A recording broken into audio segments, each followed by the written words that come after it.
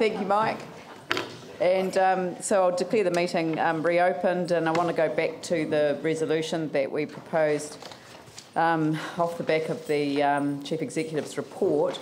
Um, and it is a narrow recommendation that we take the remaining $20,000 that sits in the Metropolitan Discretionary Response Fund uh, from the 2013 14 allocation, um, and uh, that enables us to be getting on with the job of um, looking out for the interests of those that may not qualify. We, we, we don't think that it'll be any. It might be one person. It might be two people. You know, so it's. Um, it's really not going to be a lot, but it just gets us through the period um, between the announcement yesterday and uh, when, when we know um, how many might be affected.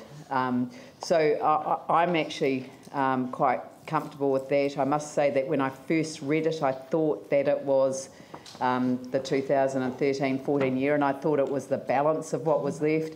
We are now dealing with the balance of what is left for the financial year, which ends on Monday. So um, if, if, any, if everyone's happy with that, I'd just like to put the resolution. Um, I'll put the resolution. Oh, Pauline, did you? No, no, no, it's been seconded and, yeah. Why this fund and not the other mayoral relief fund? Because there is a lot more um, work to be done in order to bring a report to um, council to Oh, get it approved. And Okay. th- this puts it into the Mayor's um, Welfare Fund, which is very flexible and which will be enabled to, um, to, to quickly respond to applications. Um, not all of the allocations out of the other fund have yet been finalised. So once that's finalised, the balance of that fund will not be anywhere near what it is at the moment. So, Thank you. all right, I'll put the motion. All those in favour say aye. Those opposed say no. It's carried. Thank you very much. Um, regular